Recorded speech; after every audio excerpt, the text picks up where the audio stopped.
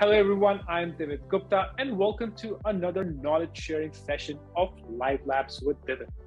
Today on the show, we are going to cover a very important aspect of technology, which is data security.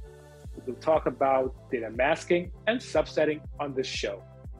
Also, the Live Labs associated with security, data masking, and subsetting.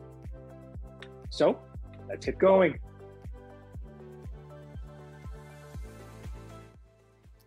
So, what is data masking? Well, data masking is the process of replacing sensitive information copied from production databases to test non production databases with realistic but scrubbed data based on masking rules.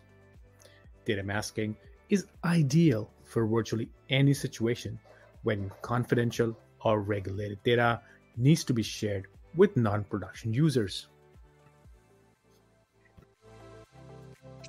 Well, we need to know more about data masking and subsetting. Let's talk to my colleague and Master Principal Architect at Oracle, Rene Fontcha. Hey Rene, how are you doing, my friend?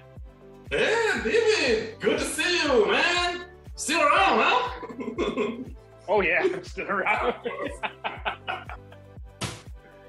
hey, you know, I know that you are a master principal architect at Oracle and you know a lot about security.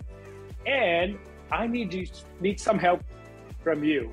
You know, I I'm doing I need to understand about data masking, data subsetting. It's an industry buzzword. So can you help my audience understand what is data masking, what is data subsetting, what's the difference? I'm so confused.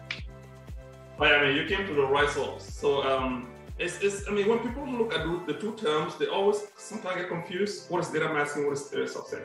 So these are features of the enterprise manager solution, which is the um, enterprise-wide system management and monitoring solution provided by Oracle.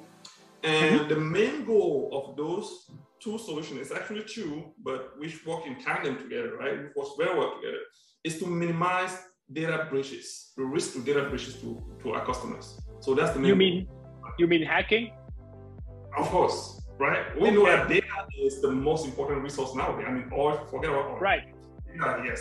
Whether it's you know, you know personal you know info, or PI info, or it's security data, or you know financial, you know health, all of that. That's very very valuable, and people are ready to you know really break the bank, so to speak, or you know um, really do some damage, serious damage to corporations just to get that data. So how do you protect so, yourself? So you're saying this is a must thing for, you know, our customers who really care about their data, you know, from a security standpoint, right?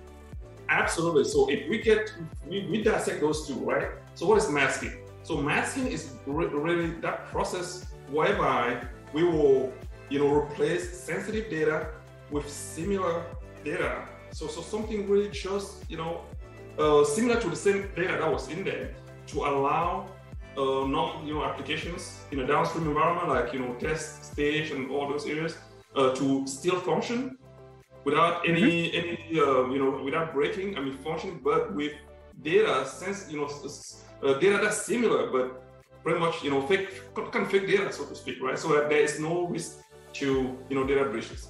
Now, subsetting, what is subsetting? Subsetting, this is the process where uh, instead of getting the whole data set that you have in production, you actually take a slice of that data, which is still uh, you know, structurally sound, just like you have in production, and take that in the downstream environment, could be for analysis, could be for search, and you know, uh, things of that nature. So those are the two, you know, two pillars uh, to data protection that we have uh, as a solution to uh, the product. Nice. And what are the key benefits of data masking and the features? So the key benefits, so when you look at data, data, data masking, for instance, right? So um, the benefits are really, um, there, there, are plenty of benefits out there. So you look at something like, again, replacing sensitive data with, you know, fictitious but realistic, very realistic data uh, that remain useful for analytics. Um, mm-hmm. You look at preserving data integrity. So you want to make sure that even if you're replacing it, it's still you still have that data integrity so that the application will continue to function with the mass data.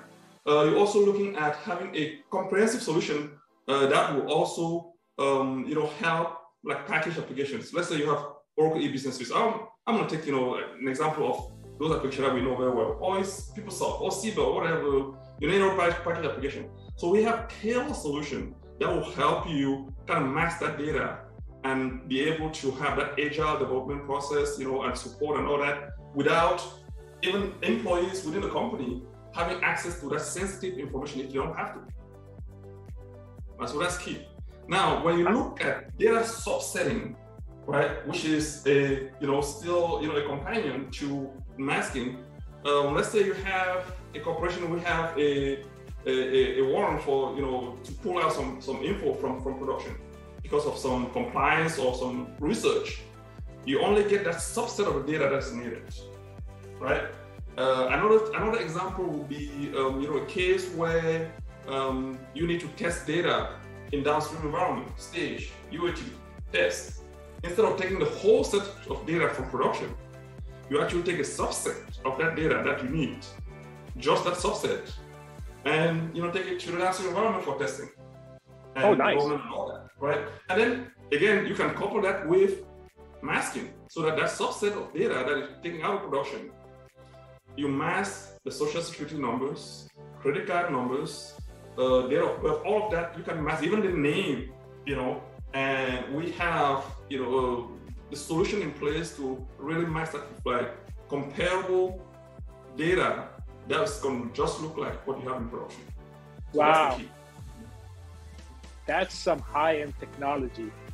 Rene, thank you for sharing this information.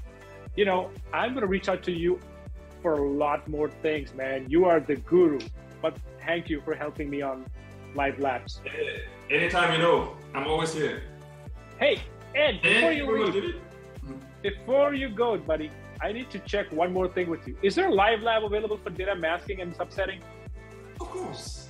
Of course. It is? And as you know, I mean, if I didn't mention this from the beginning, sorry for all that. Live lab, as you know, all free.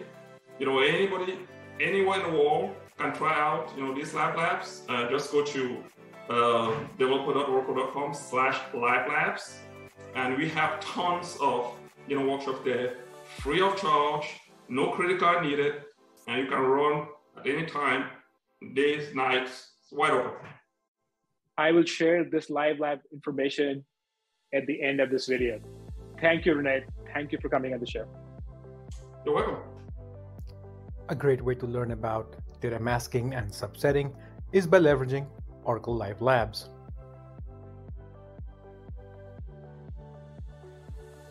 Just go to the URL below and sign up. Once you open the URL, you will get to a page similar to this. In the search bar, search for data masking.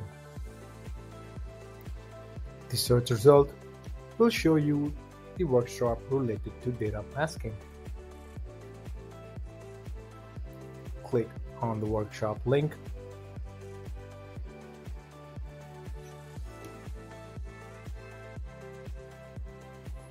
It will get you to the page similar to this. To launch your workshop, simply click on the tab Launch Always Free Workshop. The estimated duration of the workshop is about 1 hour 30 minutes. This is the outline and the prerequisites for the workshop. With this, we have covered data masking and subsetting. I hope you enjoyed the video as much as I've enjoyed making it. Please feel free to reach out to me if you have any feedback regarding this video. Thank you.